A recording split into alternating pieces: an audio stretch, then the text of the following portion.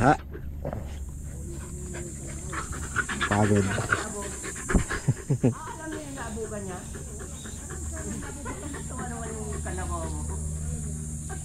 Alam niya? Yung paliguan niya?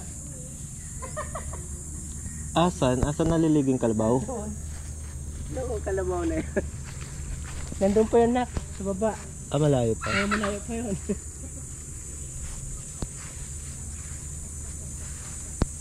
Halika na mga dogo. Ikat na tayo.